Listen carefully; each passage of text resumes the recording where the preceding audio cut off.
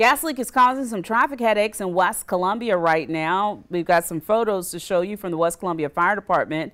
Uh, crews are on the scene. Officials say the gas leak is in the 1300 block of Sunset Boulevard near Leaphart Street. All lanes of Sunset Boulevard headed inbound are shut down and only one lane headed outbound is open.